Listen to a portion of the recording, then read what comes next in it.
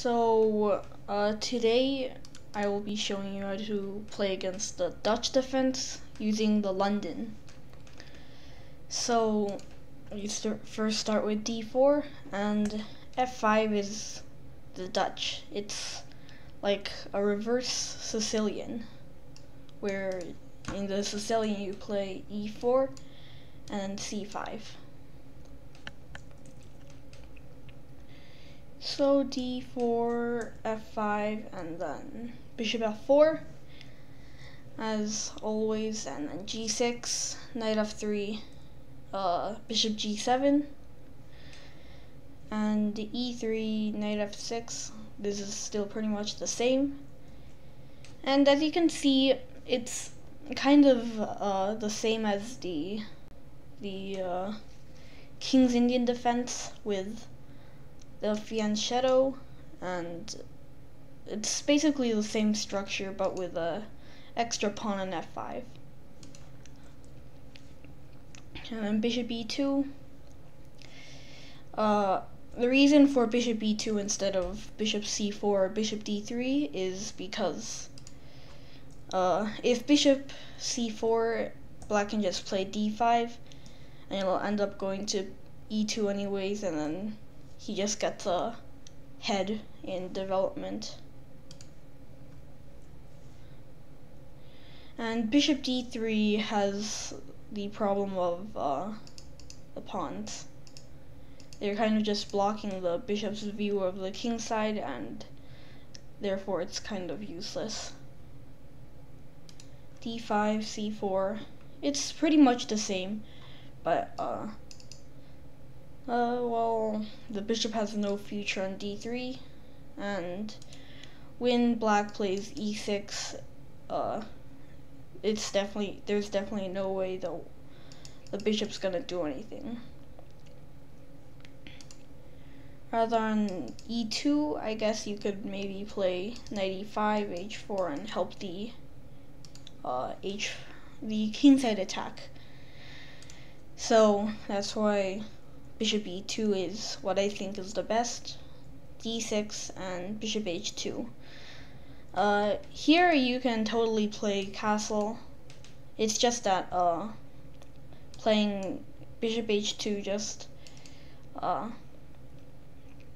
just already does what you have to do later, so it's not really like a big deal. And after knight c6, you can you can also play c6, which is which has the idea of bringing the queen out. But now after castle, queen b6, you can just ignore the queen. And then if he plays king h8 to maybe prevent any queen trade, uh, or just like any type of uh, king checks or whatever. Uh, so king h8 and then rook e1, c5. The point of c5 is to put on pressure, so I guess that's another uh, another pro of the queen b6 move. And now bishop d3, uh, a5, a4, and then just play c3. And for whatever reason, if uh, black just takes and gets too greedy, knight c4 and then queen takes c3, rook a3, and then you just have a forced sequence where he will lose his queen. So knight c6, castling, and then queen e8. Uh, you could also do that in the King's Indian, I guess, but uh, it's a little better here because you have the center space, I guess. You just have a lot of space on the center, so yeah. Instead, you could also play King h8 and then c4, e5. And there's a little like trick here for black after d takes, he can play knight e4, and the b2 pawn is hanging, so uh, getting away with the free pawn isn't gonna work. Knight d4, e takes, and then knight takes, and uh, even though there was a little uh, petty trick, you can just double his pawns and it's not really a big deal. Queen takes, rook takes, and then bishop f3. You're threatening to uh, make it even worse, and there's no way for black to prevent that. Because if he plays this, now a pawn is hanging. And this is pretty much lost. So rook b8, bishop takes e4, and this bishop's gonna have to find another place to attack. Now b3 because again the bishop has no future here. Rook d3 and rook c1 helping knight c3. Queen e8, c4 and then e5, d takes, d takes and then knight d5. So here you have the d5 square, which is basically your main point of advantage in the center. After h6, he's threatening to maybe expand on the king side and make an attack. e4 instead is met with knight d4 knight takes and then e takes. And uh, white's dominant in the queen side while black's dominant in the king side. Uh, so you can just see a lot of pawns. Queen e7 and queen d2. The point of that is basically just to maybe double up or queen f4. That's a pretty nice idea. On b6, d5, and then knight b5.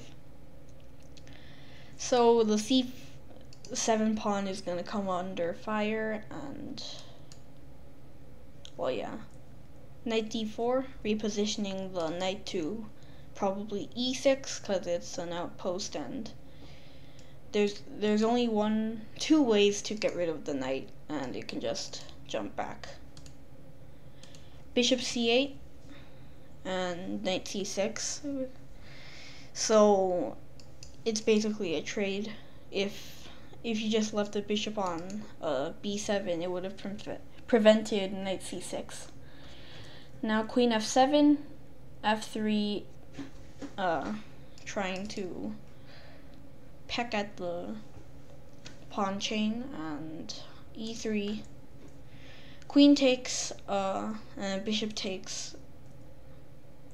Oh yeah here bishop takes b2 and e3 uh, the pawn was gonna have to either take or e3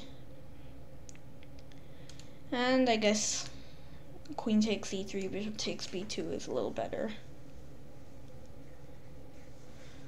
So after bishop f6, knight e5, queen g7, f4, and you've basically built a very big pawn chain in the center, and the pawn chain here is kind of neutralized. So I would consider this to be an adv advantageous position for white. Now h6, queen c7, and your idea is basically just to bring the rooks onto the open file. And you're putting your queen on the closed file so then you can help the attack. Rook f7, a3, and rook b1. e4, knight d2, and then you play b4 and bishop e6, knight d5. And then over here, your pawn structure isn't that good, but uh, there are a lot of open files, and the queen side is basically already destroyed because you can play this and then this and then this and then everything while bl black still has a long long way to go in the king side so uh, oh yeah here oops. You can also play e4 did I show this? Oh yeah I already did. Well yeah I think that's about it for the Dutch defense in this variation with g6.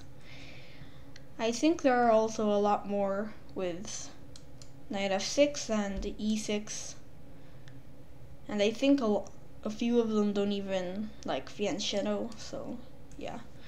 There's gonna be a lot more parts to this. But yeah thanks for watching and yeah bye